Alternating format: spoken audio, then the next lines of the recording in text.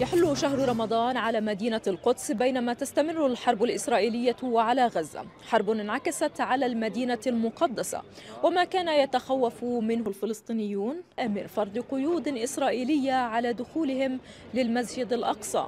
عايشوه في الليلة الأولى من صلاة التراويح. الناس بتستنى فيه كل سنة وبتتحضر طبعا بتتفاجأ إنه في منع ممنوع. بعدين بصيروا يحطوا على مزاجهم بالسن. ستين. الستين ما بمركوا قلت لك كلهم للستين مرات على المزاج بمركوا. طبعا عشان يصوروا ويفرجوا الأعلام يقول لك والله هي مركنا. بمركوا كمجموعة اللي بدهم إياها وبعدها على الواقع ما بمركوا. تصريحات إسرائيلية يراها المقدسيون تختلف عما يدور على أرض الواقع. خشية متصاعدة من أن تسوء الأوضاع أكثر مما هي عليه.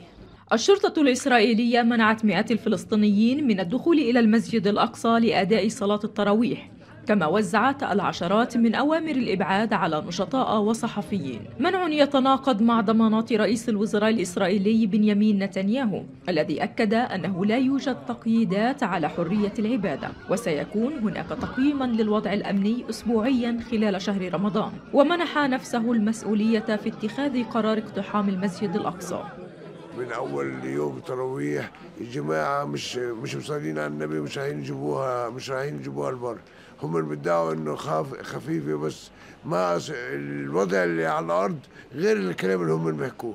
الوضع على الأرض عمال بيضغط على العالم بيضغط على الشباب بيمنع الشباب يدخلوا يصلوا بيدخلوا ف إن شاء الله خير بس أنا مش مش شايف الخير. أنا مش شايف الخير من حكومة إسرائيل لأنه هي مش ناوية على خير. والله أعلم وأعلم.